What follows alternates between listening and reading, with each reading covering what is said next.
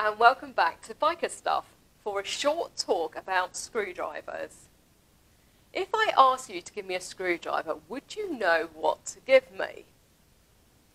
The screwdriver has been around from, since the 15th century. Since then, it has developed into various types we currently know. It is a great tool, but like my dad always said, make sure you use the right tool for the job. Today, I hope to show you the difference between three crosshead screwdrivers, how to identify them, and why you need to use the right one.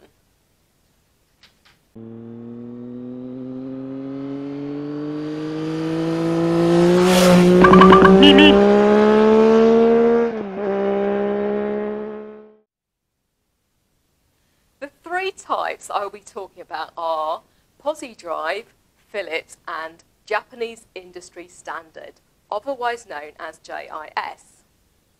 If you find Pozidriv screws on your bike, it is possible it was previously owned by a carpenter, as these are mostly used in the building trade.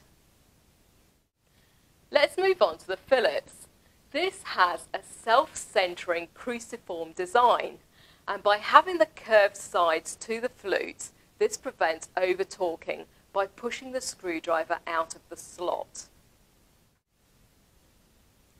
This is a JIS screwdriver. These have a very similar design to the Phillips, but the inner flutes are tighter and the tip of the contact point of the driver is slightly shorter and doesn't have the throw-out design of the Phillips as you can see in this diagram.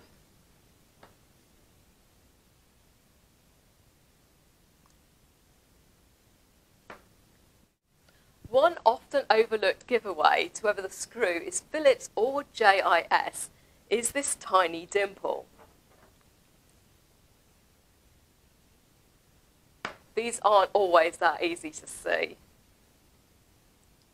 This screw on a master cylinder looks like it has been undone using a Phillips screwdriver and not JIS.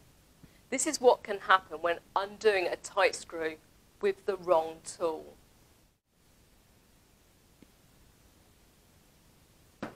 This brake master cylinder and reservoir are made by Nissin, a Japanese company, and unless someone has changed the screws, they will be JIS.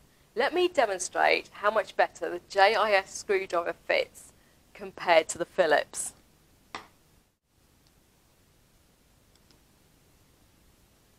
JIS.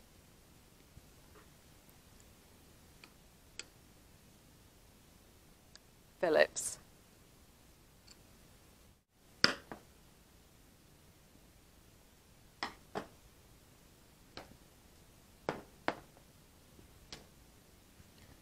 Thank you for watching. You know you liked it, so tell your friends. Don't forget to email me or leave comments on here as I do enjoy reading your thoughts.